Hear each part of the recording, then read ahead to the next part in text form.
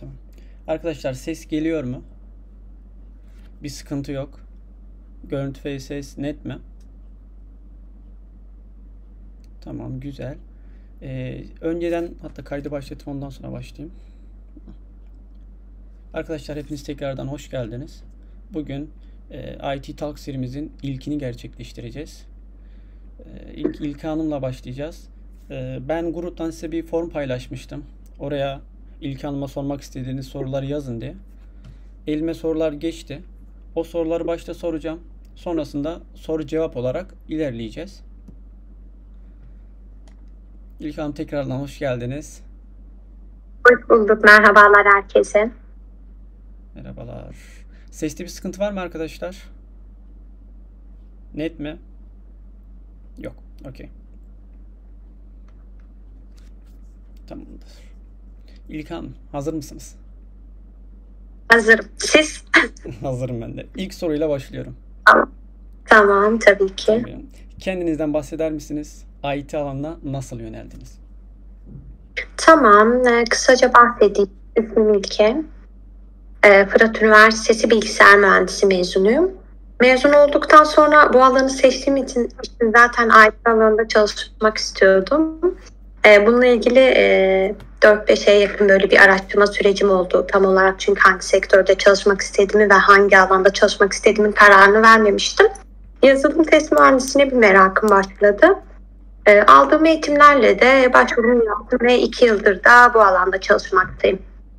Güzel. Şimdi en can alıcı soruyu soruyorum. Ee, şu Tamam. dönemde bootcamp'ler arttı. Herhangi bir bootcamp'ten mezun musunuz? Hayır herhangi bir bootcamp değilim. E, bu kadar e, sayının fazla olduğu bir bootcamp de yoktu. E, o zaman e, denk gelseydim herhalde ben de katılıp bir bootcamp'ten mezun olmak isterdim. Evet Fatih Bey kayıt alınıyor. Teşekkürler İlke Hanım. Ee, Türkiye'deki yazılım firmalarının teste bakış açısı nedir?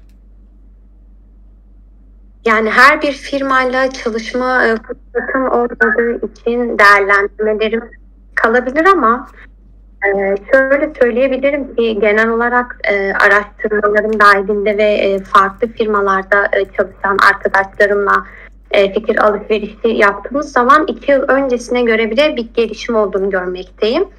E, eventlerin sayısındaki artış, iş ilanlarının sayısındaki artış ve e, dokümanların sayısındaki artış da bunu destekler nitelikte.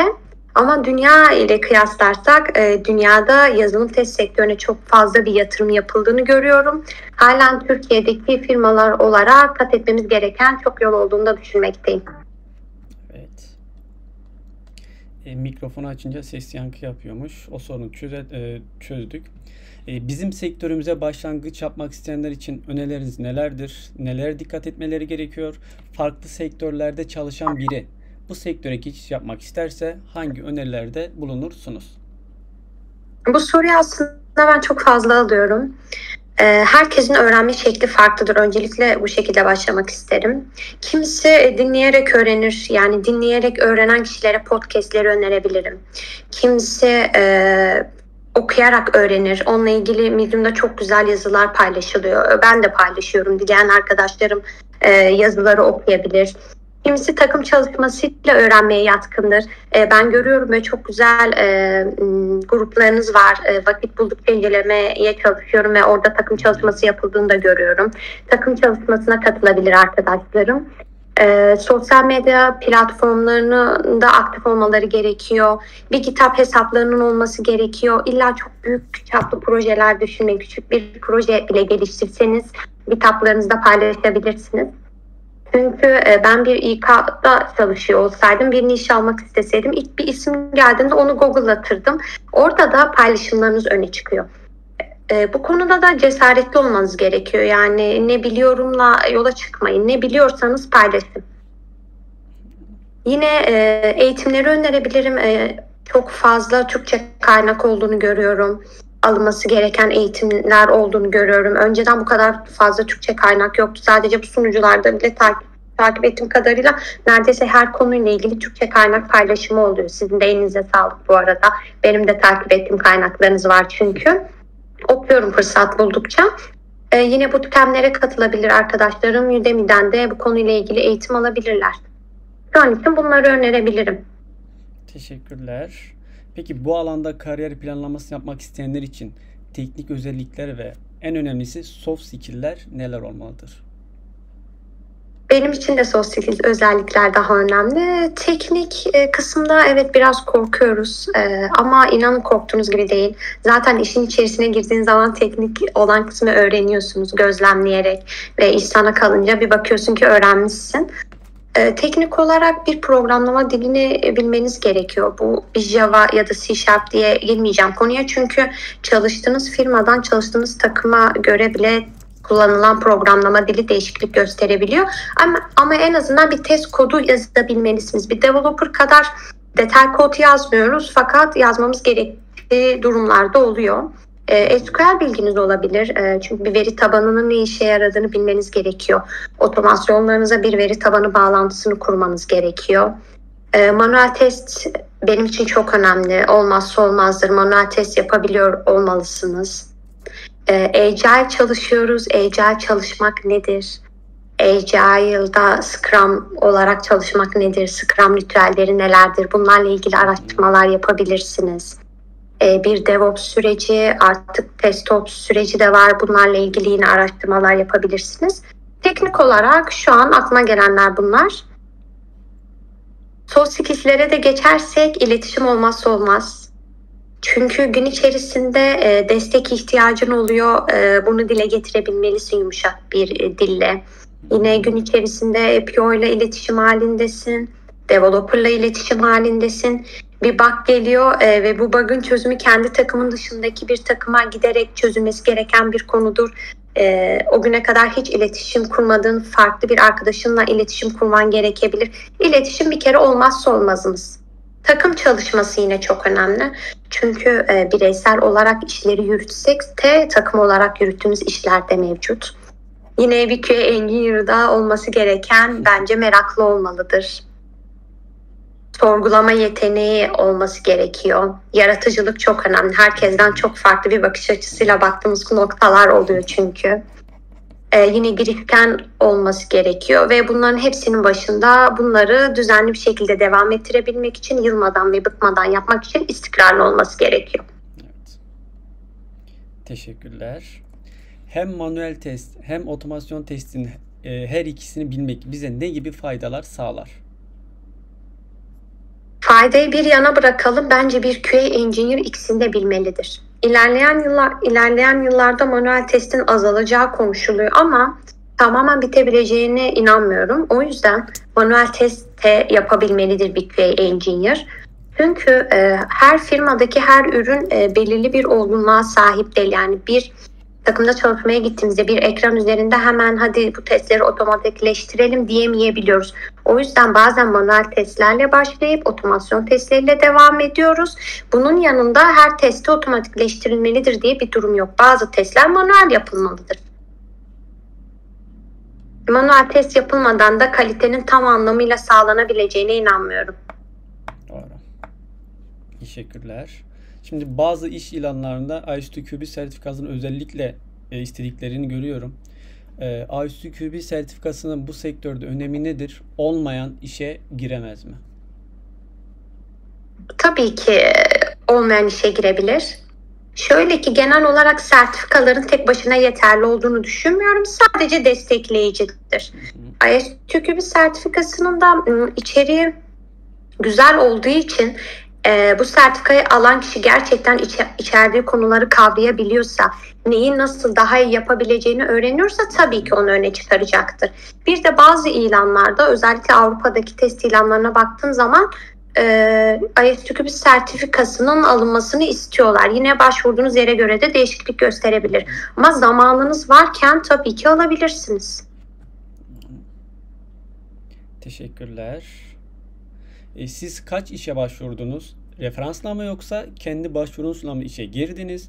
Girdiğiniz mülakatlarda evet. karşılaştığınız en zor sorular nelerdir? Ee, sanırım iki adet başvuru yapmıştım ben. Ee, zaten bir 4-5 ay gibi bir süre olmuştu iş arayışım.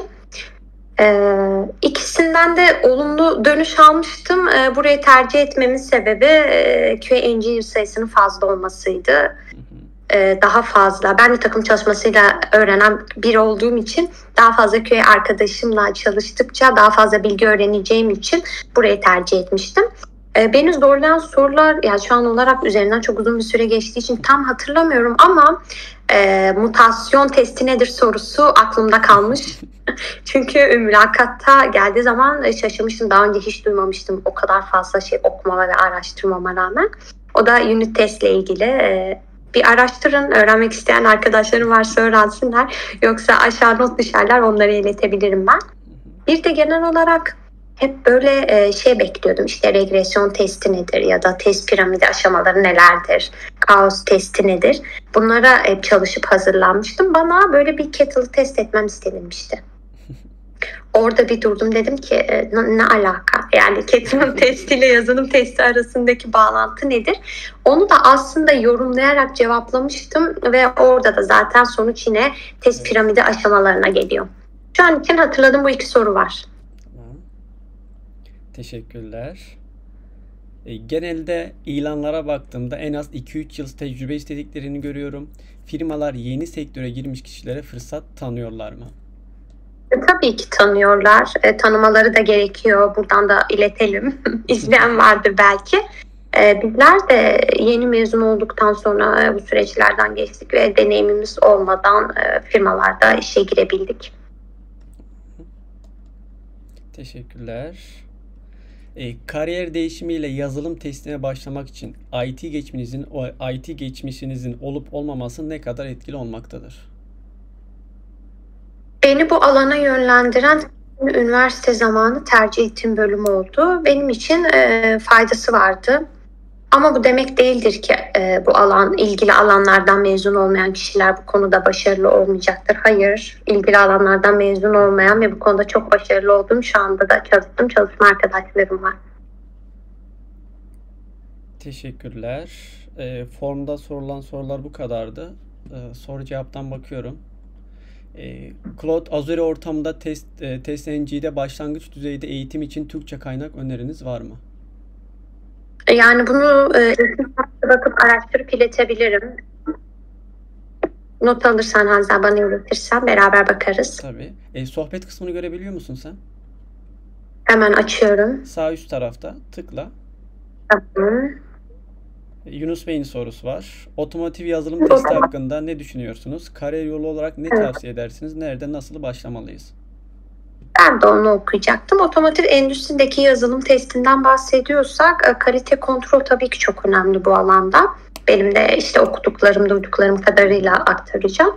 Yani örneğin bir e, sürücünün ya da yolcuların e, can güvenliği için tüm fonksiyonların çalışılabilir ve kontrol edilebilir olması gerekiyor. Ya da e, aracın daha uzun süreli az zarar e, vermeden nasıl çalışılabildiği çalışılabilirliği bunlar hepsi yazılım testiyle sağlanacak fonksiyon ve özelliklerdir. E, kariyer yolu olarak ne tavsiye edersiniz? Nereden nasıl başlamalıyım? Ne dediğim gibi herkesin deneyimi farklı, herkesin öğrenme şekli farklı. Bununla ilgili zaten ben neler yaptım, sizler neler yapabilirsiniz şeklinde iletmiştim. Bir önceki sorunun cevabı. Mühendislik diploması şart mı offer almadı? Aykinler çok ee, şimdi şöyle başvurduğunuz ilana göre değişebiliyor. Sizler de biliyorsunuz ki bazı ilanlarda ilgili alanlardan mezun olma şartı var. Bazı ilanlarda sadece işi bilen kişiyi arıyorlar. O yüzden önemli olduğu noktalar da oluyor, olmadığı noktalar da oluyor. Ben inanmıyorum yani yine bir soru gelmiş mühendislik mezuniyeti kesinlikle olmalı mı? Hayır olmayan arkadaşlarla bu sektörde çalışıyorum şu anda.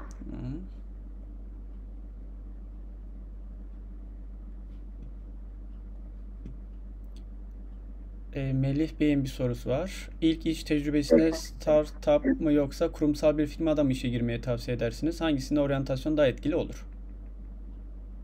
İkisinde de etkili olacağı alanlar vardır. E, kurumsal olarak ben başladım ve şu anda kurumsalın çok faydasını da görüyorum ama startup firmada başlayıp bu yolda çok güzel yerlere gelen arkadaşlarım da var.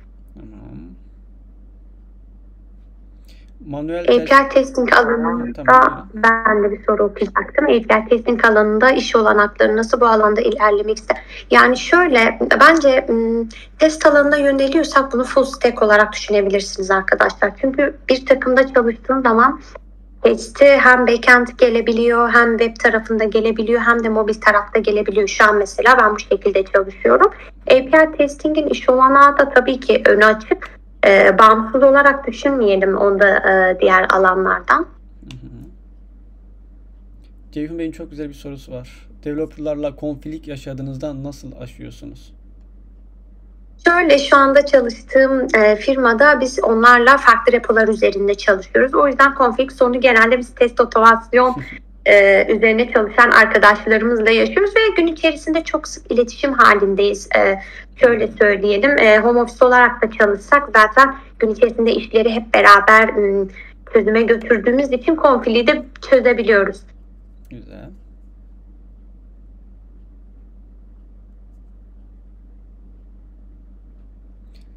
Bir ilana Bir çok ilana- sayıda başvuru oluyor. Nasıl fark yaratırız? Siz e, siz yeni işe başvuracak olsaydınız neler yapardınız? Kesinlikle e, sizlere önerdiğim soft skills'lere çok dikkat etmenizi e, önerebilirim. E, ve neyi bildiğinizden çok öğrenmeye ne kadar açık olduğunuz önemli. E, bunu dile getirebilirsiniz. İletişim üzerine eğitimler alabilirsiniz. Bazen bildiğiniz şeyleri aktaramayabiliyorsunuz. O yüzden soft skills özelliklere dikkat edebilirseniz öne çıkacağınızı düşünüyorum. Sadece teknik olarak gelişim düşünmeyelim arkadaşlar. Aynen.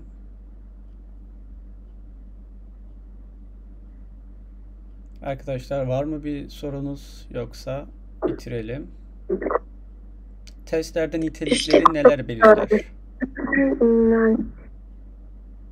Evet, Leo Arslan'ın yukarıda bir sorusu var İlk Hanım. Manuel testlerle diye başlayan. Göremedim. E, Manuel testlerde testlerde sıfırdan geliştirilen ve ilk kez önünüze gelen yazılımlar, e, yazılımlarda test planından hariç yapılan uygulamalarınız, yaklaşımlarınız var mı? Bir daha bir okuyayım. Manuel testlerde buradan geliştirilen ve ilk kez önünüze gelen yazılımlarda test planından hariç yapılan uygulamalarınız ve yaklaşımlarınız var mı? Tabii ki şöyle düşünüyorum ben ilk kez önümüze gelen yazılımlardan ziyade ilk kez bir ürün çıkıyor diyelim. Onun önce onun bir önce analiz aşamasından geçmesi gerekiyor. Analiz aşaması devam ederken biz test kezleri de çıkarmaya başlıyoruz. Test kezleri çıkardıktan sonra e, yine analiz dokümanını okuyoruz. Eksiğimiz var mı yok mu şeklinde ilerliyoruz ve sonra test kezleri zaten otomatikleştiriyoruz. Tamam. E, şunu da soralım. Bir gününüz şirkette nasıl geçiyor? Onu anlatsanız. E, Şu anda home office çalışıyorum. Hı hı. Ee, ama pek bir fark olmuyor. Şirkete gittiğim zamanlarda oluyor. E, genel olarak ben e, günlük mailleri okuyarak başlarım. E, çünkü bazen öncelikli olan işleri iletebiliyorlar ya da destek vermem gereken konular varsa onları mail üzerinden görebiliyorum. Sonra HR çalıştığımız için Scrum ritüellerimiz oluyor. Daily ile güne e, devam ediyorum. Daily'lerde e, ondan da bahsedeyim. Genelde işte dün ne yaptığımızı anlatırız. E, bugün ne yapacağımızı ve e, bizi bloklayan bir durum var mı bunları iletiriz. E, daily'lerden sonra ben gün yani gün içerisinde hangi işi yapacaksam onları öncelikle bir önceliklerine göre sıralarım. Bu da genelde sprint'e aldığımız tasklarla ilgilidir. Yani taskları alırım. Hangisinin önce yapılması gerekiyorsa onu bir köşeye not düşerim o işi yapmaya başlarım. Ama bir test mühendisinin bir gün içerisinde neler yapıyor diye düşünürsek test senaryolarını çıkarabilir senaryoları otomatikleştirebilir. Ee, sonra bunların lokalde ve sanal makinalarda koşullarını gerçekleştiriyoruz. Sadece otomasyon yazmak olarak düşünmeyelim. Bunların raporlanma aşaması da çok önemli. Ee, bir bug çıktığı zaman bunların çözümlenme e, çözümlenmesini takip ediyoruz. Çözüm, çözümlenme süreci de çok önemli. Bunun dışında zaten çok yoğun bir şekilde toplantılarla geçiyor. Bir günüm böyle. Teşekkürler. Hiç işe alım... Hayır işe alıp Tamam. Hayır şu an için e, bir işe alım görüşmesi yapmadım. Zaten iki yıldır bu sektördeyim, devam ediyorum. Neler sordunuz? Ne soracak yani soracak olsaydım söylediğim gibi yani teknik olarak eksikliğin tamamlanabileceğine inanıyorum. Ama skills özellikler çok önemli. Kültürel olarak uyum benim için daha önemli.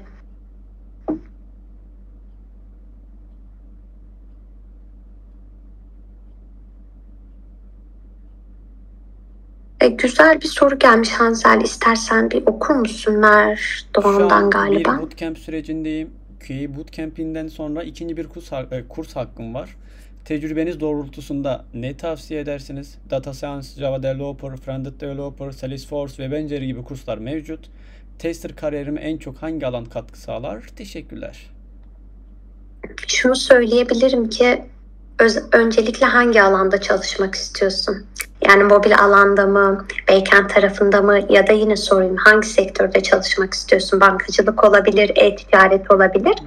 Ama e, genel olarak yazdıklarından Java Developer'ı önerebilirim. E, çünkü e, şu anda ilanlara baktığım zaman test alanında programlama dili olarak Java'nın önde olduğunu görüyorum.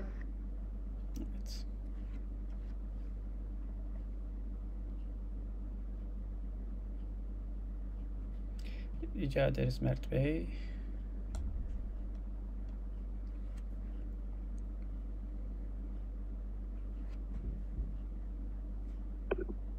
E, Melih Bey, bununla ilgili size ben bir doküman vereceğim. E, İlk Hanım'la ITSAK bittikten sonra orada kim ne kadar söylüyor, senior, junior, mid, e, evden, uzaktan, hani her şey e, şey yapayım orada göstereceğim. Hani o konuda ücret beklentisi için bir doküman paylaşacağım size. Kişiye göre çok değişkenlik gösteriyor ücret konusu. Yine firmaya göre değişkenlik gö- gösteriyor. Tecrübeye göre değişkenlik gösteriyor. Bunlarla ilgili güzel bir doküman var. Her yıl QA Engineer arkadaşlarla paylaşıyoruz. Firma ve kişi ismi vermeden. Onu Hanzel Bey size iletirse oradan görüp o skalada bir şeyler belirtebilirsiniz. En az iki yıl deneyim isteniyor çoğu iş deneyimi. Az olanlar mülakata çağrılmak için neler yapabilirler? Şöyle söyleyeyim, e, bu konuda tedirgin olmayın. 10 e, adet başvuru yapıp e, son başvurusunda çok güzel dönüş alan arkadaşlarım var ya da ilk başvurusundan dönüş alanlar var.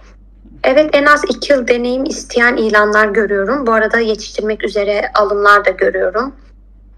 En az 2 yıl deneyim isteyen ilanlara da başvuralım. Dönüşler olabiliyor çünkü mülakata çağrılmak için neler yapılabilirler? E, siz istikrarınızı hiç bozmayın. Bazen motivasyon düşüşleri yaşanılabiliyor. Aynı istikrarla devam ederseniz başarıya ulaşabileceğinize eminim. Teşekkürler. Arkadaşlar varsa son sorunuzu alalım. İlk hanım fazla yormayalım. Var mı sorunuz arkadaşlar? Yine varsa aklınıza takılan sormak istediğiniz sorular belki buradan yazmak istemiyorsunuz. Bana ulaşabilirsiniz sosyal medya platformları üzerinden. Teşekkür ederim.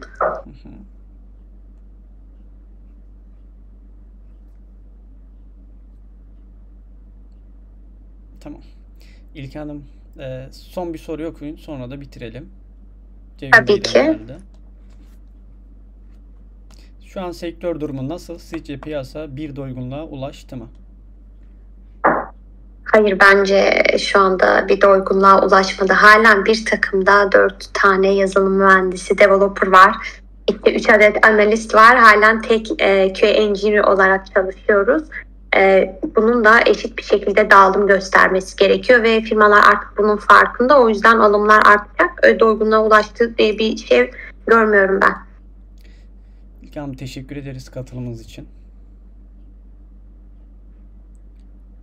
Orçun, soru daha var. Onu da yapalım mı Orçun Bey'in sorusuna cevaplayın. Aynen. Güzel bir soru geldi. Ee, yine e, bununla ilgili ben soracağım. Hangi alan üzerinde çalışmak istiyorsun? Bu mobilse app'imi önerebilirim. UFT önerebilirim. Ee, bir backend ise REST Assured önerebilirim. Bir web tarafında çalışmak istiyorsanız Selenium önerebilirim. API testlerinde ben Karate kullanmayı çok seviyorum. Karate önerebilirim. Ee, genel olarak test yapabilmenin mantığı oturduğu zaman tool'lar, framework'leri tamam öğrenmek zaman alabiliyoruz, zorlanabiliyoruz ama çok da önemli olmuyor yani. işin içerisine girdiğinde onu öğrenebiliyorsun. O yüzden ben özellikle manuel testinde önemini vurgulamak istiyorum. Öncelikli olarak bir testin mantığını oturtalım. Sonra zaten yanına bir tuğla alıp yolda ilerliyoruz. Kesinlikle. İlke Hanım teşekkür ederiz. Vaktiniz bizimle ayırdığınız Rica için. ederim. Ben çok teşekkür ederim beni buraya çağırdığınız için. Tekrardan teşekkürler. İyi akşamlar herkese. İyi akşamlar.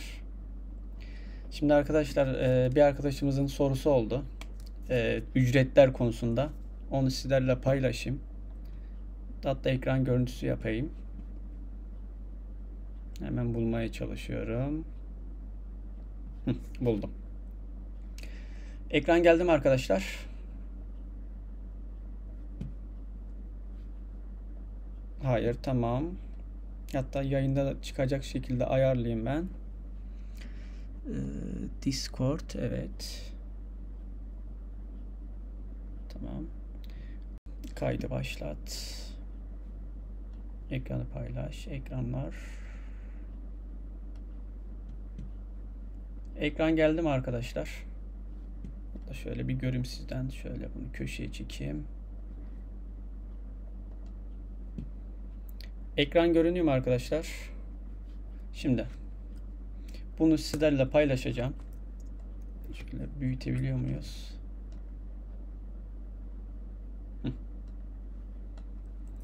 Çalışma şekliniz burada. Pozisyonunuz burada. Test alanda kaç yıllık deneyimi olan bu satırda bu sütunda yazıyor.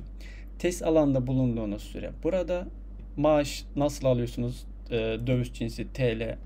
Muhtemelen hepsi TL. Evet TL. Burada aldığınız total maaş burada yazıyor arkadaşlar. Bakın bunu in-house bir mid QA engineer 2-3 yıllık tecrübesi aldığı total maaşı burada. İniyorum aşağı. QA junior var mı? Mesela junior QA engineer 1-2 yıllık tecrübesiyle şu an gördüğünüz gibi bu derecede. Ben bunu sizlerle paylaşacağım. Siz A'dan Z'ye kontrolünü sağlayın. Baya önemli bir doküman. Hatta şunu sizlerle paylaşayım.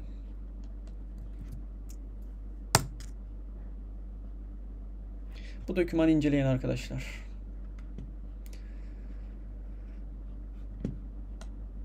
Şöyle arkaya alayım. Şu an hali hazırda bakın e, aynı 27'sinde zaman, e, zaman damgaları var. 28'inde bak 29'unda 31'inde tarihler burada. Yani yakın tarihler. İlk Hanım dediği gibi şu an hali hazırda çalışan kişilerin bu formu her yıl düzenli olarak dolduruyorlarmış. Bu sizin için çok önemlidir. Yani ona göre interviewlere girdiğinizde soru size yöneltildiğinde şunları baz alarak bir aylık bir ortalama çıkartabilirsiniz. Yani tesis alanındaki kaç yıllık tecrübeniz var ise ona göre e, cevaplayabilirsiniz. Bazen size soruyorlar e, ücret konusunda.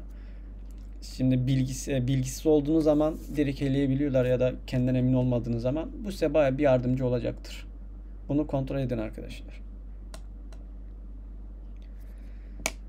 Tamamdır. Katılım için teşekkür ederim arkadaşlar. İkincisini inşallah çekeceğiz. Bakalım kim gelecek. Şimdiden katılım için teşekkür ederim sizlere. Anketi de zaten e, sohbet kısmında paylaştım. Dileyen olursa WhatsApp gruplarından da paylaşabiliriz. Bir sonraki IT Talk programında görüşmek üzere.